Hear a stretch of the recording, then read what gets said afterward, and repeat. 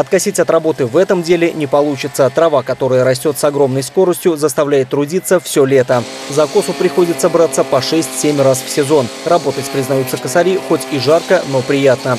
Запах скошенной на рассвете травы придает сил, да и рабочий инструмент радует. Без особых усилий за несколько минут с помощью газонокосилок и триммеров набираются целые стога. Легче работать, интереснее. Стимул есть к работе. Не вручную. Вроде 21 век.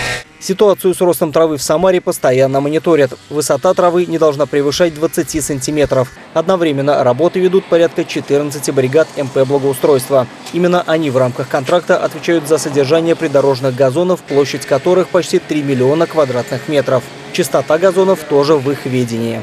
Предприятие, оно э, в принципе осуществляет работу по содержанию автомобильной дороги, включая газоны.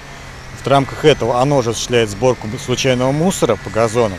И как э, мера, то есть, что покос травы позволяет выявить мусор, который не видно, и собирать.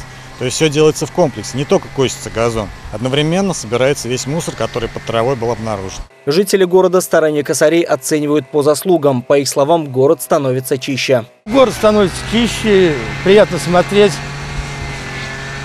То, что люди, правда, работают, стараются, убирают. Покос травы в Самаре ведется с мая по сентябрь. Работы будут вестись во всех районах города. Павел Баймаков, Константин Головин. События.